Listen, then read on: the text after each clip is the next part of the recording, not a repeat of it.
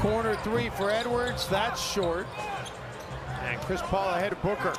And Booker does not waste any time. They find him early and often as well. Booker unable to connect, but Ayton comes up with the rebound, then taken away. A six-point advantage. Okogie, he chased down Booker not once but twice on the fast break and came up with blocks from behind. And hopefully you have players like that right there. That at the point of attack, the on-ball defender can can defend without needing a lot of help. Towns, the great fake on the three, gets into the paint, takes the contact. Rebounded by McGee. Mm, Booker. Edwards comes over and says, get that shot out of here. Did not score well against the Clippers, but he has done a great job, Dave, of being efficient in his game. Really have his teammates come to the party. Because Minnesota is not a good shooting team, they, they don't shoot the three very well. They don't shoot from the mid-range very well. D'Angelo Russell and Anthony Edwards can score. Excellent job. Mm. Booker. There you go, Jaden.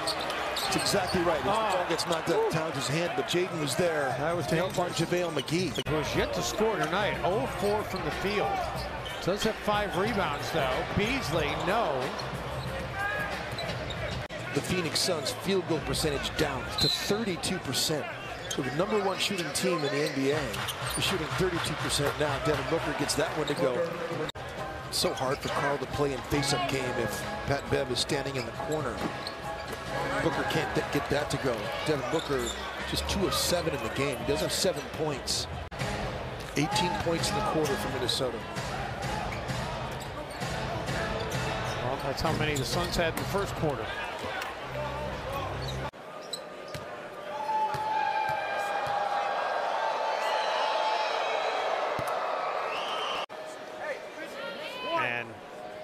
No matter what happens in this final 2.2, it's going to be the lowest scoring half that they've had all season. Excellent offensive rebounder. D'Lo gets the hoop in a harm there. Devin Booker is going to get called for the foul. Yeah, you and I had a conversation about that today, though, that you know, I don't know that that always tells the full story because when you don't shoot it that well, you get more second chance opportunities. McGee is a very good offensive rebounder. The Phoenix Suns are still 29th in the NBA in offensive rebound percentage. And can't get that to go. He's going to get fouled on the pass off. Aaron Smith is saying that Jaden went underneath his elbow and hit his elbow up, but that's not what happened technique. He, he, he didn't run underneath him. That's not what Aaron Smith called. He said he hit his elbow. One of the things that Chris Finch said in Los Angeles was that as Ayton rolls again to the rim. Booker kicks it into the corner. Nice ball movement by the Suns. Booker gets the Suns a second chance. And he'll go to the free throw line. Booker kicks it into the corner. Nice ball movement by the Suns. Booker gets the Suns a second chance. And he'll go to the free throw line. Booker kicks it into the corner. Nice ball movement by the Suns. Booker gets the Suns a second chance. And he'll go to the free throw line. Any points from Booker here will count as second chance points. And it's already 10, making now 11-6 in favor of Phoenix. Say fans, head to the Bally Sports North Facebook page after this game for the Timberwolves Fast Break brought to you by Nucle uh, Nucleus Network. We'll have a review of tonight's game and a preview of the game coming up on Wednesday. But it's been entertaining nonetheless.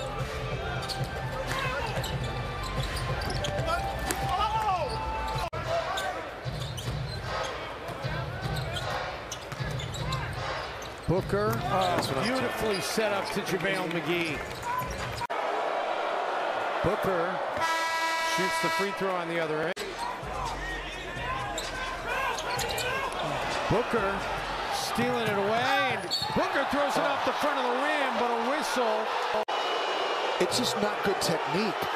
And he needs to watch the video. excellent job in pick and roll game in early offense that time, using the Vando screen. Minnesota does not need Devin Booker to start getting going now. Yeah. Edwards dumps it off for Vanderbilt. Thought Vanderbilt might have got fouled by Booker. No whistle. Playing a pick and roll game and being another scorer on the floor, a floor spacer, a guy to get you to play with a pick and roll, and Devin Booker can't get that to go. Minnesota. How is that not traveling? That, that's a great question. The crowd He, he, the he tried to draw the foul, but he didn't get the call. He get the turnover anyway. Oh, the ball don't lie.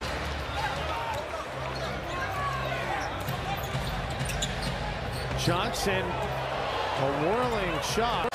Booker. Edwards has done a nice job on Booker all night long.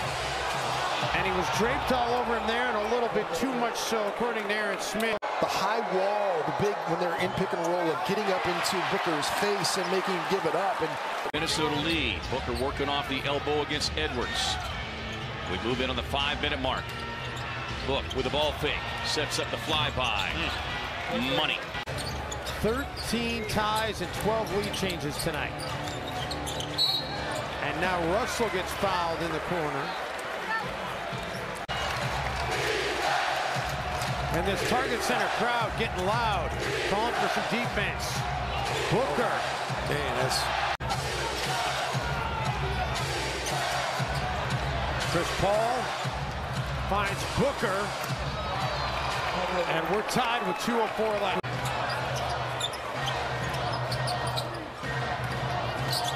Russell weaves into the paint. And D'Lo is going to go to the free throw line with a chance to give the Wolves back the lead. Ayton hit the one free throw. Booker, quick pass inside for Ayton. More able to get out and defend the three-point shot. Ayton has been giving those threes up to Towns. Can Minnesota stop Devin Booker? No.